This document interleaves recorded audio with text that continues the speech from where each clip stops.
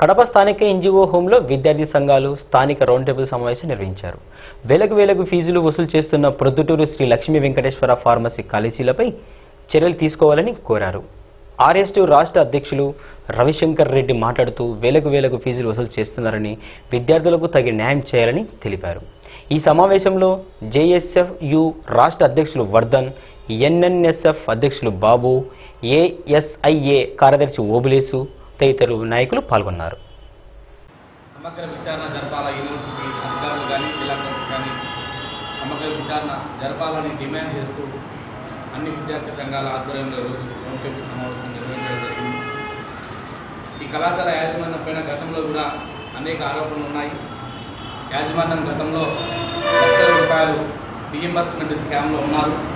అట్లాగే ఈ కళాశాలకు అనుగుణంగా ఒక ఆసుపత్రి ఉండాలా? అది కూడా ముప్పై కిలోమీటర్ల పరిధిలో ఉండాలా? కానీ ప్రొద్దుటూరులో కాలేజ్ ఉంటే కోరమాయలో ఉన్నటువంటి ఒక ఆసుపత్రి చూపిస్తూ ఉన్నారు. ఈ కాలేజీకి అనుబంధంగా ఆసుపత్రి. అంటే ఎనభై కిలోమీటర్లు ప్రతిరోజు విద్యార్థి ప్రొద్దుటూరు నుంచి కోరమాయలకు పోయి ప్రాక్టికల్ చేయాలన్నా అంటే దీన్ని బట్టి అర్థమవుతా ఉంది యాజమాన్యం ఇక వ్యవహారం ఎలా ఎలా ఉందనేది. ఎందుకంటే ఆ కా పేరుకే ఫార్మసీ కాలేజీ అక్కడ అధ్యాపకులు ఉండరు విద్యార్థులు ఉన్నారు పరికరాలు ఉండవు. కేవలము యాజమాన్యం మాత్రమే రోజు ఉచ్చిపోతూ ఉంటారు. యూనివర్సిటీ అధికారులకు గతంలో కూడా అనేక ఫిర్యాదులు చేశాము. అధికారులకు కూడా తెలియజేయడం జరిగింది. ఇంతవరకు ఒక యాక్షన్ కూడా తీసుకోలేదు. ఇలాంటి వాళ్ళ వల్ల అన్ని కాలేజీలకు కూడా ఈరోజు ఫార్మసీ కాలేజీలు కూడా చెడ్డ పేరు వచ్చేటువంటి అవకాశం ఉంది. తక్షణమే యూనివర్సిటీ అధికారులు స్పందించాలా? జిల్లా కలెక్టర్ స్పందించాలా?